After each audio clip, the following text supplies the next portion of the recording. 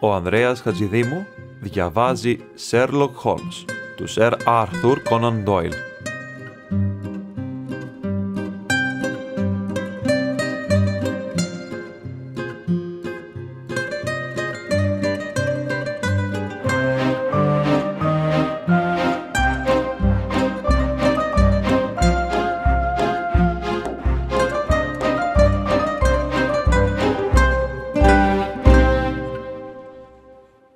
Η κοιλάδα του φόβου. Μέρος πρώτο. Η τραγωδία του Μπίρλστον. Κεφάλαιο δεύτερο. Ο Σέρλοκ Χόλμς συνομιλεί.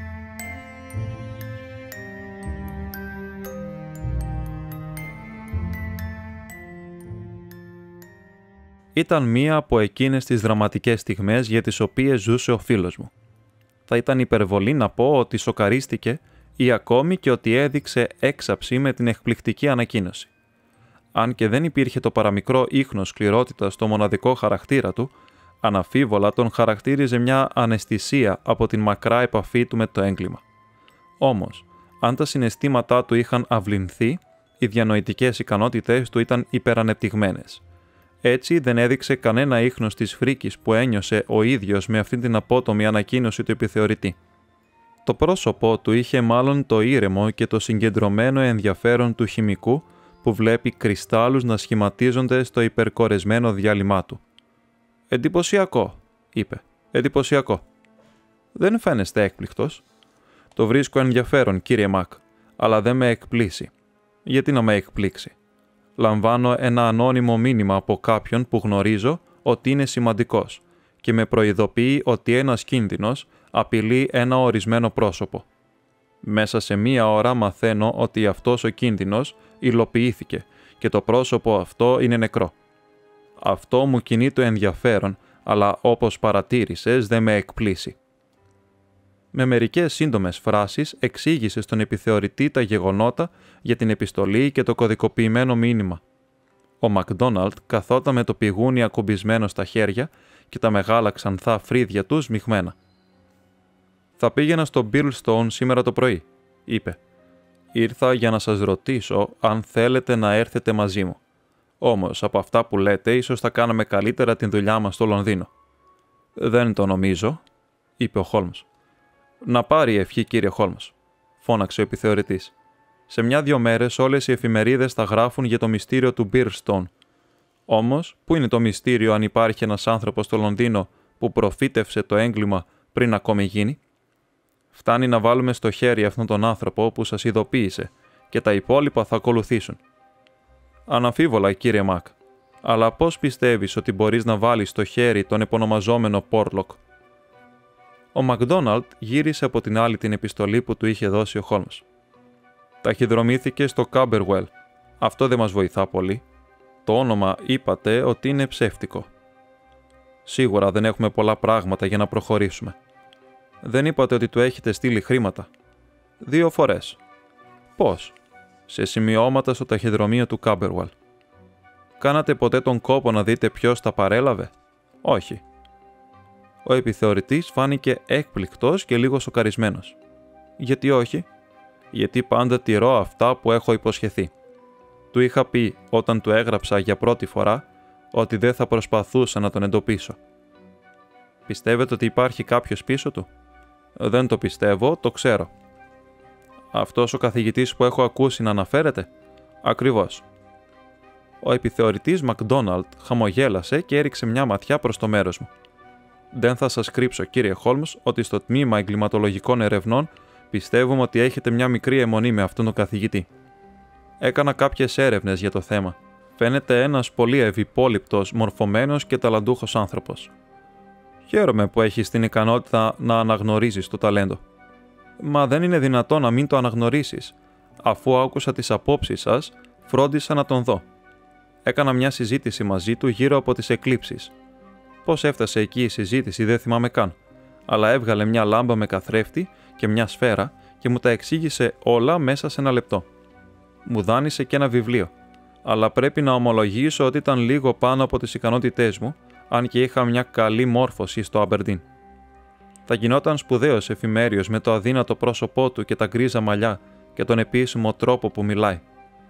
Όταν έβαλε το χέρι του στον ώμο μου καθώς έφευγα, ήταν σαν την ευλογία του πατέρα πριν βγει στον κρύο σκληρό κόσμο. Ο Χόλμς γέλασε και έτριψε τα χέρια του. Σπουδαία, είπε. Σπουδαία. Πες μου, φίλε Μακδόναλτ, αυτή η ευχάριστη και συγκινητική συνάντηση έγινε, φαντάζομαι, στο γραφείο του καθηγητή. Ναι. Εξαιρετικό δωμάτιο, δεν είναι; Πολύ καλό. Όντως, πολύ ωραίο, κύριε Χόλμς. Κάθισες μπροστά στο γραφείο του; Ακριβώς. Με τον ήλιο στα μάτια σου και το δικό του πρόσωπο στην σκιά; Ήταν βράδυ, αλλά θυμάμαι ότι η λάμπα ήταν στραμμένη προς το πρόσωπό μου. Φυσικά θα ήταν στραμμένη στο πρόσωπό σου. Μήπως έτυχες να προσέξεις έναν πίνακα πάνω από το κεφάλι του καθηγητή; Δεν μου διαφεύγουν πολλά, κύριε Χόλμς. Ίσως έμαθα από εσάς. Ναι, είδα τον πίνακα. Μια κοπέλα με το κεφάλι ακουμπισμένο στα χέρια που σε κοιτάζει λοξά. Αυτός ο πίνακας είναι έργο του Ζαν Μπατίστ Γκρές. Ο επιθεωρητής προσπάθησε να δείξει ενδιαφέρον. Ο Ζαν Μπατίστ Γκρές, συνέχισε ο Χόλμς, ενώνοντας τα δάχτυλα και γέρνοντας πίσω στην καρέκλα του, ήταν ένας Γάλλος ζωγράφος που εργάστηκε από το 1750 μέχρι το 1800. Η σύγχρονη κριτική έχει ασπαστεί και με το παραπάνω την υψηλή γνώμη που είχαν γι' αυτόν οι σύγχρονοι του. Τα μάτια του επιθεωρητή άρχισαν να θολών. Δεν θα ήταν προτιμότερο να... άρχισε να λέει. Αυτό ακριβώς κάνουμε, τον διέκοψε ο Χόλμς. Όλα όσα λέω έχουν άμεση και ζωτική σχέση με την υπόθεση που ονόμασες «Μυστήριο του Μπίρλστον». Πραγματικά, θα μπορούσαμε από μια άποψη να πούμε πως είναι ο πυρήνας αυτού του μυστηρίου. Ο Μακδόναλτ χαμογέλασε αμήχανα και κοίταξε εμένα με ένα οικετευτικό βλέμμα. Οι σκέψεις σας κινούνται λίγο γρήγορα για μένα, κύριε Χόλμ. Παραλείπετε ένα-δυο κρίκους και δεν μπορώ να υπερπηδήσω το κενό. Ποια μπορεί να είναι η σύνδεση ανάμεσα σε αυτόν τον νεκρό ζωγράφο και την υπόθεση του Μπίρλστον; Όλες οι γνώσεις είναι χρήσιμες για τον αστυνομικό, παρατήρησε ο Χόλμ. Ακόμη και το ασήμαντο γεγονός ότι το έτος 1865 ένας πίνακας του Γκρέζ με τίτλο Le Jeune Fil à l'Agneau έφτασε το 1.200.000 γαλλικά φράγκα, πάνω από 40.000 λίρες, στην πώληση της συλλογής Πορτάλης, μπορεί να αποτελέσει αφετηρία για έναν ηρμό σκέψεων στο νου σου.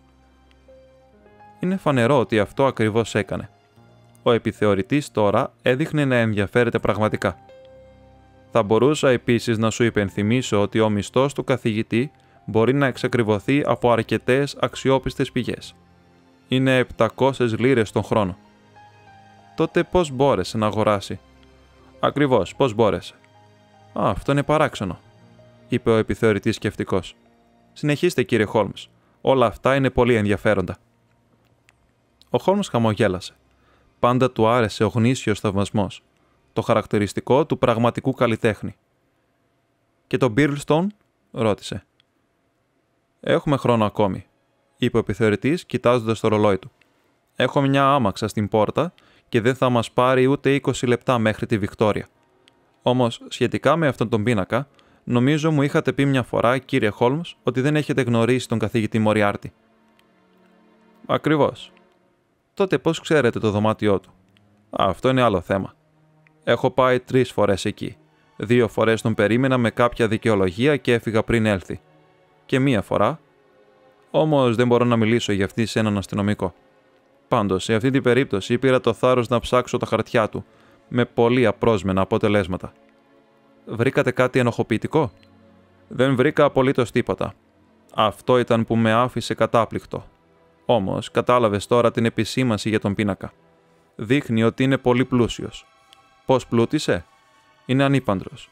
Ο μικρότερος αδελφός του είναι σταθμάρχης στην Δυτική Αγγλία.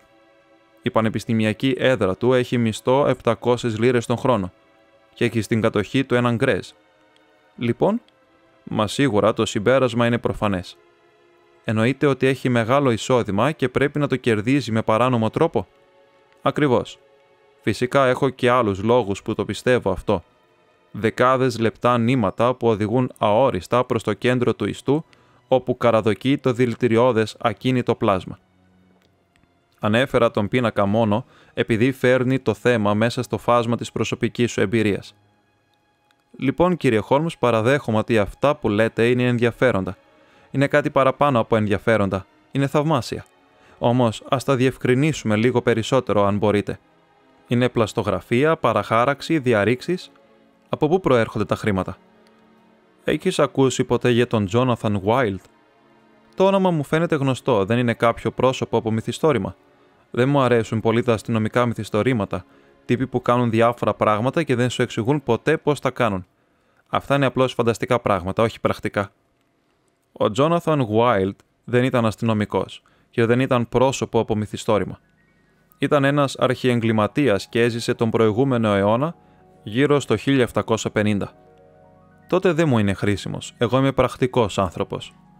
Κύριε Μακ, το πιο πρακτικό πράγμα που θα μπορούσες να κάνεις ποτέ στην ζωή σου θα ήταν να κλειστείς κάπου για τρεις μήνες και να διαβάζεις 12 ώρες τη μέρα τα εγκληματικά χρονικά. Όλα επαναλαμβάνονται σε κύκλους. Ακόμη και ο καθηγητής Μοριάρτη.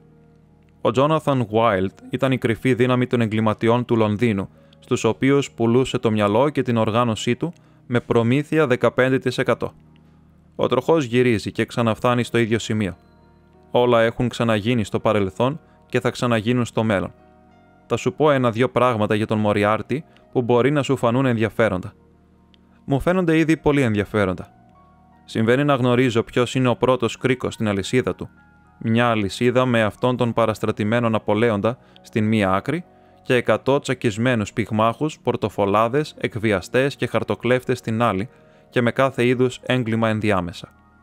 Ο αρχηγός του επιτελείου του είναι ο συνταγματάρχης Σεμπάστιαν Μόραν, ο οποίος είναι εξίσου απρόσιτος και απρόσβλητος από τον νόμο με τον ίδιο τον Μοριάρτη. Πόσα νομίζεις ότι τον πληρώνει, θα ήθελα να μάθω. 6.000 λίρες τον χρόνο. Καταλαβαίνεις, τον πληρώνει για το μυαλό του. Η Αμερικανική Αρχή των Επιχειρήσεων. Έμαθα αυτήν τη λεπτομέρεια εντελώς τυχαία. Είναι παραπάνω από τα χρήματα που παίρνει ο Πρωθυπουργός. Αυτό σου δίνει μια ιδέα για τα κέρδη του Μοριάρτη και την κλίμακα στην οποία εργάζεται. Και κάτι άλλο. Φρόντισα να βρω μερικές από τις επιταγές του Μοριάρτη τελευταία. Συνηθισμένες, αθώες επιταγές με τις οποίες πληρώνει τους λογαριασμούς του σπιτιού του. Προέρχονταν από έξι διαφορετικές τράπεζες. Σου κάνει εντύπωση αυτό; Σίγουρα είναι παράξενο. Αλλά τι συμπεραίνεται από αυτό; Ότι δεν ήθελε κουτσομπολιά για τα πλούτη του. Δεν ήθελε να γνωρίζει ένας άνθρωπος πόσα έχει. Είμαι σίγουρος ότι έχει 20 τραπεζικούς λογαριασμούς και ότι το μεγαλύτερο μέρος της περιουσίας του είναι στο εξωτερικό. Στην Deutsche Bank ή στην Credit Lyonnais κατά πάσα πιθανότητα. Κάποια στιγμή που θα έχεις να διαθέσεις ένα-δύο χρόνια, θα σου σύστηνα να μελετήσεις τον καθηγητή Μοριάρτη. Ο επιθεωρητής Μακδόναλτ εντυπωσιαζόταν όλο και περισσότερο καθώς προχωρούσε η συζήτηση. Είχε αρχίσει να ξεχνιέται, αλλά ξαφνικά η πρακτική σκοτσέζικη φύση του τον επανέφερε στο άμεσο θέμα. Αυτός μπορεί να περιμένει, είπε. Μας οδηγήσατε αλλού με τις ενδιαφέρουσες ιστορίες σας, κύριε Χόλμ. Εκείνο που μετράει πραγματικά είναι το σχόλιο σας ότι υπάρχει κάποια σύνδεση ανάμεσα στον καθηγητή και το έγκλημα. Αυτό το συμπεράνατε από την προειδοποίηση που πήρατε από αυτόν τον Πόρλοκ. Μπορούμε να προχωρήσουμε πέρα από αυτό για τις άμεσες πρακτικές μας ανάγκες. Μπορούμε να σχηματίσουμε κάποια ιδέα για τα κίνητρα του εγκλήματος. Όπως κατάλαβα από τα αρχικά σου σχόλια, πρόκειται για έναν ανεξήγητο φόνο. Τώρα, αν θεωρήσουμε ότι η πηγή του εγκλήματος είναι αυτή που υποψιαζόμαστε ότι είναι, μπορεί να υπάρχουν δύο διαφορετικά κίνητρα. Κατά πρώτον, μπορώ να σου πω ότι ο Μοριάρτη διευθύνει τους ανθρώπους του με σιδερένια πυγμή. Η πειθαρχία του είναι τρομερή. Υπάρχει μόνο μία τιμωρία για το δικό του κώδικα, ο θάνατος. Τώρα θα μπορούσαμε να θεωρήσουμε ότι αυτός ο δολοφονημένος, αυτός ο Ντάγκλας, του οποίου η επικείμενη μοίρα ήταν γνωστή σε έναν από τους υφισταμένους του αρχιεγκληματία, πρόδωσε με κάποιον τρόπο τον αρχηγό του. Έτσι ακολούθησε η τιμωρία του, η οποία θα γίνει γνωστή σε όλους και θα τους προκαλέσει φόβο και για τη δική του ζωή. Ναι, αυτό είναι ένα ενδεχόμενο, κύριε Χόλμς. Το άλλο είναι ότι ο φόνος διοργανώθηκε από τον Μοριάρτη στην πορεία των επιχειρήσεών του. Υπήρξε ληστεία; Δεν άκουσα κάτι τέτοιο. Αν υπήρχε, θα ήταν φυσικά ενάντια στην πρώτη θεωρία και υπέρ της δεύτερης. Μπορεί να προσέλαβαν τον Μοριάρτη για να κάνει τον φόνο με την υπόσχεση να πάρει ένα μέρος από τα λάφυρα. Ή μπορεί να τον πλήρωσαν ένα ποσό. Και οι δύο περιπτώσεις είναι δυνατές. Όμως, ό,τι από τα δύο κι αν είναι, ή ακόμη κι αν είναι ένας τρίτος συνδυασμός, πρέπει να αναζητήσουμε την λύση στο Birlstone. Γνωρίζω πολύ καλά τον άνθρωπό μας για να θεωρήσω ότι μπορεί να έχει αφήσει οτιδήποτε εδώ πάνω που θα ήταν δυνατό να μας οδηγήσει σε αυτόν. Τότε ας πάμε στο Birlstone, είπε ο Μακδόναλτ και πετάχτηκε όρθιο. Μα την πίστη μου είναι πιο αργά από όσο νόμιζα, κύριε. Μπορώ να σας δώσω μόνο πέντε λεπτά για να ετοιμαστείτε και όχι παραπάνω. Και είναι αρκετά και για τους δυο μας, είπε ο Χόλμ. Πετάχτηκε όρθιος και έσπευσε να αλλάξει την ρόμπα του με το σακάκι του. Καθώς θα πηγαίνουμε, κύριε Μακ, θα σας ζητήσω, αν έχετε την καλοσύνη, να μου πείτε όσα γνωρίζετε. Αυτά που γνώριζε ο επιθεωρητής αποδείχθηκαν απογοητευτικά λίγα. Από την άλλη όμως ήταν αρκετά ώστε να βεβαιωθούμε ότι η υπόθεση που ανοιγόταν μπροστά μας μπορεί να άξιζε την προσοχή του ειδικού. Το πρόσωπο του Χόλμς φωτίστηκε και έτριψε τα χέρια του καθώς άκουγε τις λιγοστές αλλά παράξενες λεπτομέρειες. Ένα μεγάλο διάστημα στήρων εβδομάδων ήταν πλέον πίσω μας. Εδώ είχαμε επιτέλους έναν ταιριαστό στόχο για εκείνες τις εκπληκτικές ικανότητές του, όπως όλα τα ξεχωριστά χαρίσματα, γίνονται ενοχλητικές για τον κάτοχό τους όταν δεν χρησιμοποιούνται. Αυτό το κοφτερό μυαλό αμβλυνόταν και σκούριαζε με την απραξία. Τα μάτια του Σέρλοκ άστραφταν. Τα χλωμά μάγουλά του έπαιρναν μια πιο ζεστή χρειά και όλο το πρόσωπό του έλαμπε από ένα εσωτερικό φως όταν έφτανε επιτέλους η κλίση για κάποια υπόθεση. Σκύβοντας μπροστά μέσα στην άμαξα, άκουσε απορροφημένος την σύντομη σκιαγράφηση του Μακδόναλτ για το πρόβλημα που μας περίμενε στο Σάσεξ. Και ο ίδιος ο επιθεωρητής, όπως μας εξήγησε, στηριζόταν για αυτά που μας έλεγε σε μια περιγραφή που του είχαν στείλει με το πρώτο πρωινό τρένο. Ο White Mason, ο τοπικός αστυνομικός, ήταν προσωπικός του φίλος και έτσι ο Μακδόναλτ είχε ειδοποιηθεί πολύ πιο γρήγορα από όσο συνέβαινε συνήθως στη Scotland Yard όταν οι αστυνομικοί της επαρχίας χρειάζονταν την βοήθειά τους. Στις περισσότερες περιπτώσεις, οι ειδικοί της πρωτεύουσας ακολουθούσαν κρύα ίχνη. Αγαπητέ επιθεωρητά Μακδόναλτ, έγραφε η επιστολή που μας διάβασε. Το επίσημο αίτημα για τις υπηρεσίες σου υπάρχει σε ξεχωριστή επιστολή. Αυτό το μήνυμα είναι μόνο για σένα. Ειδοποίησε με τηλεγραφικά ποιο τρένο μπορείς να πάρεις για τον Μπίρλστον και θα έλθω να σε παραλάβω. Ή θα στείλω κάποιον αν είμαι πολύ απασχολημένος. Αυτή η υπόθεση είναι ζώρικη. Μην καθυστερήσεις στιγμή να ξεκινήσεις. Αν μπορείς να φέρεις τον κύριο Χόλμς, σε παρακαλώ κάντο, γιατί θα βρει αυτό ακριβώς που του αρέσει. Αν δεν υπήρχε ένας νεκρός στη μέση, θα πιστεύαμε ότι τα έχουν κάνει σκόπιμα με αυτόν τον τρόπο για να κάνουν μεγαλύτερη θεατρική εντύπωση. Σοβαρά. Η υπόθεση είναι ζώρικη. Ο φίλος σου φαίνεται ότι δεν είναι ανόητος, παρατήρησε ο Χόλμς. Όχι, κύριε, ο White Mason είναι εξαιρετικός αστυνομικός. Λοιπόν, έχεις τίποτε άλλο; Μόνο ότι θα μας πει όλες τις λεπτομέρειες όταν συναντηθούμε. Τότε πώς ήξερες ότι το θύμα λέγεται Douglas και ότι έπεσε θύμα φρικτής δολοφονίας; Αυτά ήταν στην εσόκλειστη επίσημη αναφορά. Δεν λέει φρικτή όμως, αυτό δεν είναι αναγνωρισμένος επίσημος όρος. Έδινε μόνο το όνομα του Τζον Ντάγκλας και ότι το τραύμα ήταν στο κεφάλι, από δίκανο. Έλεγε επίσης την ώρα που δόθηκε συναγερμός που ήταν κοντά στα μεσάνυχτα χθες βράδυ. Και πρόσθετε ότι πρόκειται αναμφίβολα για υπόθεση φόνου, αλλά δεν έχει γίνει σύλληψη, και ότι υπάρχουν μερικά πολύ παράξενα και ασυνήθιστα χαρακτηριστικά. Μόνο αυτά έχουμε προς το παρόν, κύριε Χόλμς. Τότε με την άδειά σου θα το αφήσουμε έτσι το πράγμα, κύριε Μακ. Ο πειρασμός να σχηματίζει κανείς πρόορε θεωρίες βασισμένο σε ανεπαρκή δεδομένα είναι η μάστιγα του επαγγέλματός μας. Βλέπω μόνο δύο βέβαια πράγματα αυτή τη στιγμή. Ένα μεγάλο εγκέφαλο στο Λονδίνο και ένα νεκρό στο Σάσεξ. Και εκείνο που θέλουμε είναι να εντοπίσουμε την αλυσίδα που τα ενώνει.